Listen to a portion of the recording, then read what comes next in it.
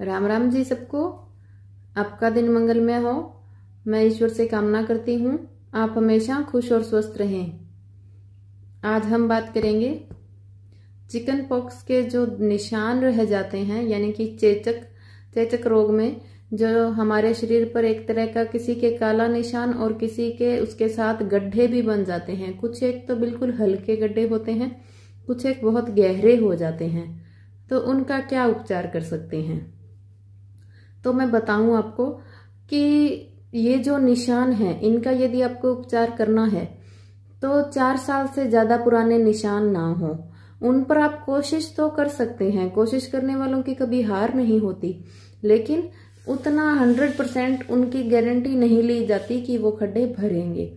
बाकी जो निशान है, वो जो मैं आपको घरेलू उपचार बता रही हूँ, दो बताऊँगी, इनसे हंड्रेड परसेंट खत्म हो जाते हैं। तो कोशिश यही कीजिए ज़्यादा से ज़्यादा लोगों को बताइए ताकि यदि किसी को हुआ भी है तो वो तुरंत उपचार कर सकें। और यही उम्मीद करूँगी कि जिस किसी का भी हो, सबके निशान साफ़ हो, लंबा टाइम ना हुआ हो, लेकिन यदि किसी को लंबा टाइम हो गया है तो निराश होके ना बैठे, ये लगातार करे रखें। तो इसमें साल दो साल टाइम दें तो हो सकता है आपको आराम मिले। और ज़्यादा से ज़्यादा लोगों को बताएँगे तो किसी और का पुराना ना हो ये। क्योंकि जिस तकलीफ़ से हम गुजर गए या जो निशान पक गए, अब उनका कुछ उपचार नहीं है, बहुत पुराने हो चुके हैं। तो जिनको ताज़ा हुआ है, वो तो उपचार करें ताकि ये निशान ना पड़े क्योंकि ये निशान यदि चेहरे पे हो या हाथों पे तो इतना नहीं भद्दा लगता, लेकिन चेहरे पे वैसे तो देखिए, भद्दा लगने वाला कुछ नहीं है। ये तो सिर्फ़ लोगों की मानसिकता है। गोरा, काला, सुंदर कुरूप ये ऊपर के कुछ नहीं, रूप और काला गोरा कुछ, निशान कुछ नहीं होता। आपका मन साफ़ होना चाहिए। आपके कर्म इतने अच्छे होने चाहिए कि आपकी ईश्वर के साथ जो अटैचमेंट है, वो इतनी अच्छी हो कि अंतिम समय में, जब हमारे प्राण निकले तो उस समय ईश्वर के सामने जब हम खड़े हों तो हमें नीचा ना देखना पड़े। यदि जीवन में कोई गलती हुई है तो उसके लिए पछतावा, माफ़ी आप मांगे परंतु दोबारा वो चीज़ ना दोहराएँ और आगे का जो जीवन है, जो निकल गया, उसको हम नहीं बदल सकते। उसको तो जो याद भी करोगे, यदि आपके साथ बुरा हुआ है अच्छा हुआ है तो अच्छे को याद करोगे, आज बुरा समय है तो उदास हो जाओगे कि पहले का समय अच्छा था। आज बुरा है, आज अच्छा है, पहले, कल बुरा था तो फिर आप बुरे में चले जाओगे कि मेरे साथ कितना बुरा हुआ। तो उदास ना हो, जो निकल गया वो निकल गया, लेकिन आगे अपने ऐसे कर्म रखो कि ईश्वर के सामने हमें नीचा ना देखना पड़े। और जब आपके ऐसे कर्म होंगे और आपकी आत्मा शुद्ध और साफ़ होगी ना, यकीन मानिए, आप चाहे कैसे भी हैं, कोई आपका रंग प्रभाव नहीं डालेगा, कोई आपकी हाइट प्रभाव नहीं डालेगी, कोई आपके चेहरे के निशान प्रभाव नहीं डालेंगे। ये एक मन का भाव, हम खुद एक गांठ बाँध लेते हैं कि ये हमारा भद्दा लगता होगा। बद्दे कभी विचार नहीं लगते। जब एक इंसान के अच्छे विचार, अच्छी आत्मा अच्छा आचरण, अच्छे कर्म, जब एक अपने चारों ओर एक सराउंडिंग एक अच्छी पॉजिटिव सोच फैलाते हैं ना तो लोगों को वो खुद ब खुद अच्छा लगने लगता है। ये आप खुद अपने प्रैक्टिकल में देख सकते हैं, चाहे कोई काले, सांवले रंग का बच्चा हो।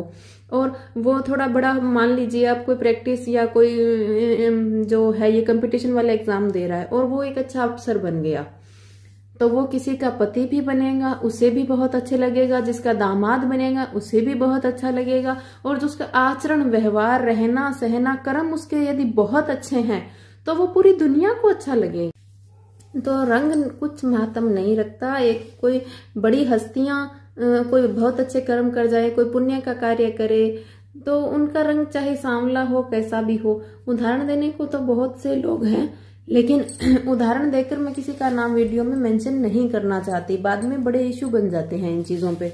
तो लेकिन मन को उदास ना करें, बाकी निशान मिटाने के घरेलू उपचार हैं, क्योंकि इन चीज़ों की वजह से कई लोग बहुत हताश और निराश हो जाते हैं। तो ऐसे ना हो, उसके लिए आपको उदाहरण दिए हैं। बाकी इसके दो उपचार हैं, वो आप देख लीजिए। आप आजमाना, उसका रिज़ल्ट बहुत अच्छा है। ताज़ा निशान है चार साल से पहले के तो आपके निशान बिल्कुल खत्म हो जाएँगे। पुराने हैं तो उदास ना हो, आप लगा के देख लीजिए एक साल तक। इसमें कोई बड़ा खर्चा नहीं है, महँगी चीज़ें नहीं है, कुछ मुश्किल नहीं आप कर सकते हैं। एक तो अब जैसे मौसम आएगा, अब सर्दी का मौसम है तो अब संतरे का जो मौसम आ रहा है, संतरे के छिलके को छाव में अच्छे से सुखा लें। उसको सुखा के बारीक पाउडर बना के एयर टाइट कंटेनर में बंद करके रख लें। फिर उस छिलके को बढ़िया से पीसे हुए को गुलाब जल के साथ मिला के अच्छे से थोड़ी देर भिगो के रख दें, फिर और मसल के मिला लें उसको। उस पेस्ट को जहाँ भी निशान है चेचक के, चिकन पॉक्स के, आप उनके ऊपर अच्छे से लगाइए। यदि खड्डे हैं तो उनको अच्छे से भर दीजिए। और रात को सो जाइए और सुबह उठ के ताज़ा पानी से, गुनगुने पानी से आप चेहरे को धो लें। ये आपको लगातार करना है। आराम तो देखिए, दस पंद्रह दिन में हल्का दिखने लगेगा, लेकिन समय किसी के एक डेढ़ महीने में ही भर जाते हैं। किसी को छह महीने तक का समय लग जाता है। तो टाइम ज़रूर दें और लगातार लगाएँ। उसके अलावा एक चीज़ और इस्तेमाल कर सकते हैं। आपको क्या करना है? हल्दी लेनी है, थोड़ा सा गेहूँ का आटा। ये कॉम्बिनेशन बहुत अलग है। अब एक जो ये संतरे का छिलका बेसन, दही, हल्दी मिला के लगाते हैं, ये छाइया और चेहरे का धूल मिट्टी के निशान, कालापन, निखार के लिए है ये। लेकिन संतरे का अकेला छिलका गुलाब जल के साथ चेचक के लिए ही है। ये थोड़ी बहुत चीज़ों का चेंज हो जाता है, लेकिन इनका उपचार अलग अलग है तो जिस रोग में जैसा बताया जाए, वैसा ही करें। तो चेचक के लिए एक तो संतरे के छिलके गुलाब जल के साथ गुलाब जल अच्छा हो। अच्छी आयुर्वेदिक कंपनी का आप लें। क्योंकि घर में तैयार करना थोड़ा मुश्किल होता है, उतना प्योर नहीं हो पाता। इसका थोड़ा अर्क निकाल के डाला जाता है इसके अंदर। तो आप अच्छी आयुर्वेदिक कंपनी से ले लें और संतरे के छिलके के अंदर मिला के थोड़ी देर भिगो के फिर अच्छे से उसका पेस्ट बना के रात को लगा के खड्डों के अंदर पूरा भर के सो जाएँ। सुबह आप ताज़ा पानी से चेहरा साफ़ कर लें। अब दिन में एक बार आपको एक पेस्ट और लगाना है। क्या लगाना है? ये आप सुबह के टाइम भी कर सकते हैं, शाम के टाइम भी कर सकते हैं। आपको लेना है ताज़ा गाय का दूध। गाय का दूध है, यानी राठी और देसी गाय का ही लें, उपलब्ध करवा लें, कैसे भी हो। और यदि नहीं है तो नॉर्मल गाय का आप इस्तेमाल कर सकते हैं, लेकिन 100 परसेंट रिज़ल्ट आपको उसी से ही मिलेगा। फिर आपको लेनी है हल्दी का पाउडर हल्दी का पाउडर अब हल्दी का पाउडर ले रहे हैं या कच्ची हल्दी को घिस के ले रहे हैं? दोनों ही चीज़ ले सकते हैं। अच्छे लाभ हैं दोनों के, बराबर लाभ हैं। कोई किसी में नुकसान नहीं है।